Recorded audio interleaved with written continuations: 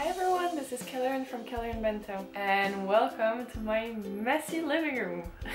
Today I'm going to show you a little food art thingy that I came up with as a complete improvisation.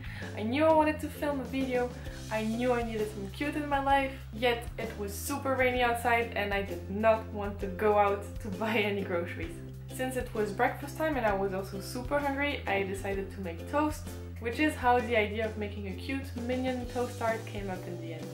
So the characters don't look too much like minions in my opinion, but hey, the intention was here and I think they look pretty cute anyway, so just figured I'd show you how I made them.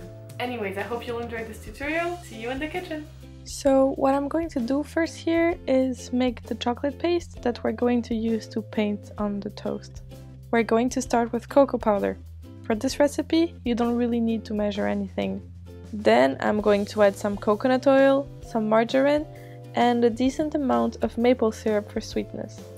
Again, adapt the quantities of each ingredient to your own liking.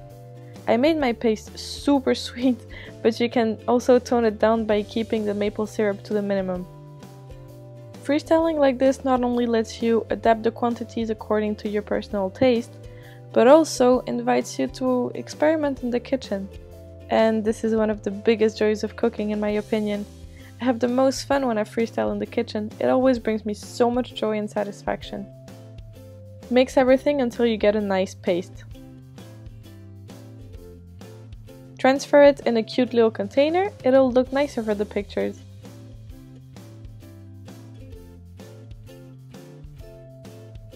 And if you're like me, lick the spoon and scrape the bowl with your fingers. No waste.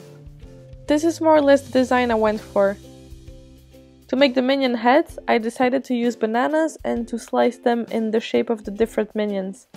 So I have a more diagonal cut for the long minions and a perpendicular cut for the round one. See? Three shapes. And now it's time to draw. I started with the long minion. It's pretty self-explanatory from here. Just dip your painting utensil in the chocolate and start painting. I used a fork, but I guess it could also work with a toothpick or something like this. My trick here? Go very slow. First I make an outline of the shape I want and then I kind of fill it in with little little tiny dots. Slowly but surely you'll end up drawing on banana. The nice thing is, since the banana is very humid, if you make a mistake you can easily scrape it off with a toothpick or the clean side of your fork.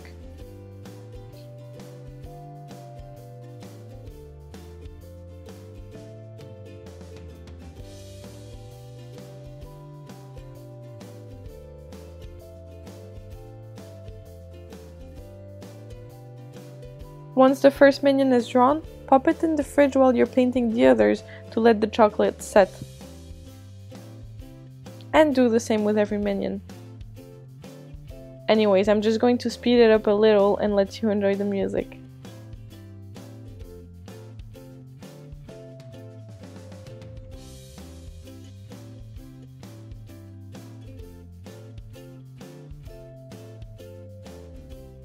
The last minion head is a bit potato shaped, so I kind of squished the banana a little bit.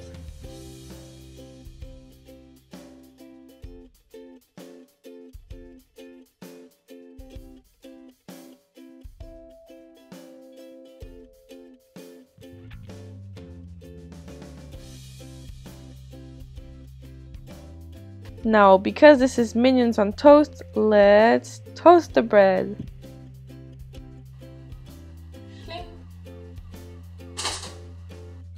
Just place your minions on the slice of bread and draw the strands of hair directly on the toast.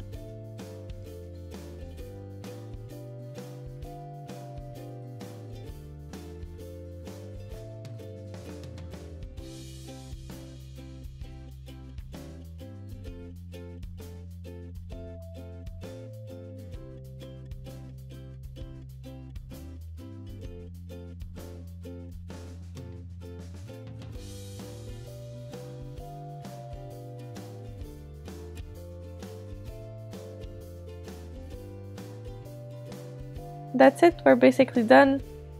Now you can just make a cute little fruit salad to go with the rest of your nice breakfast. This chocolate spread goes super well with fruits. You can just dip them in the chocolate and it will be delicious.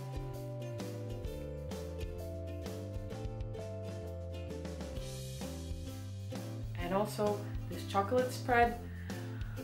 Oh my goodness, I just put a few ingredients that I had in my kitchen mixed them up together, but it was so good. I ended up eating the whole pot by myself, making a second one, eating half of it, and then leaving the other half to my boyfriend because I really wanted him to try. Otherwise, I would have eaten all of it.